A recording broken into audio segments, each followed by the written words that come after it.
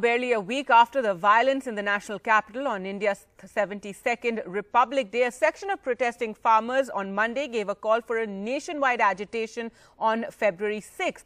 Now, this comes even as thousands of farmers are protesting against the three contentious farm laws at the borders of Delhi for more than two months now. Meanwhile, at the three main protest sites of Singhu, Ghazipur and Tikri, the Delhi police took several steps to restrict the movement of protesters. As you can see there, concertina wires sandwiched between four layers of yellow barricades, low cement walls, buses and trucks parked parked crisscross fashion and even nails put into the roads at the Tikri border to stop any kind of movement. Road blockages have also caused major traffic jams in parts of Delhi.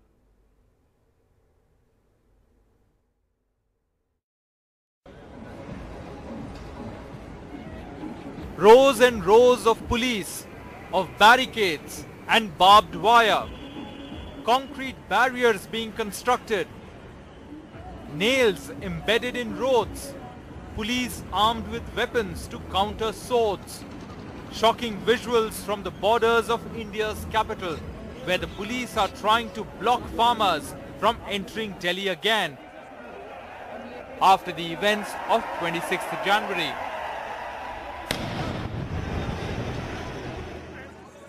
In doing so, the cops replicating scenes from India's conflict zones. This footage released by Delhi police sources shows cops holding sword-like weapons made of metal, fortification against any sword attacks on cops by protesters, sources say.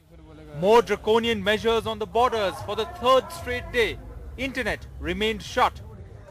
Even as the finance minister presented most crucial budget in recent times in the backdrop of the crippling COVID pandemic. बहुत ज्यादा समस्या हो रही है sir कुछ भी TV पे कुछ भी मैसेज नहीं कर सकते कुछ भी देख नहीं सकते कोई भी खबर कट गए हैं आप लोग हाँ The government is bringing in more extreme and new measures to intensify the fortifications at the protest sites outside the national capital. Thousands of farmers are joining the agitation, making the protest stronger by each and every passing day. At the Singhu border, thousands of farmers continued to arrive for protests, more from Haryana and West UP, unlike a week ago when this border mostly had farmers from Punjab.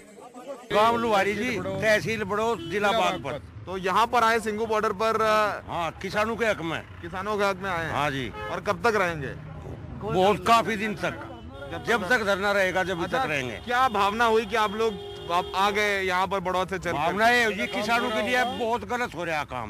किसानों के लिए बहुत गलत काम हो रहा। किसान मरिया पड़िया बच पाओगा इस हालत में किसान।